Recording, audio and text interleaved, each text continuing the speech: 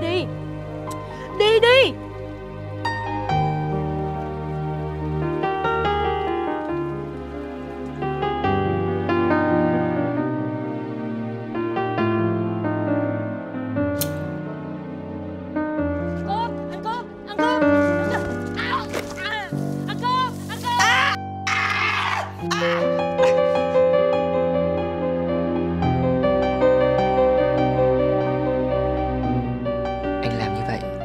chỉ để bảo vệ cuộc sống của hai đứa mình thôi.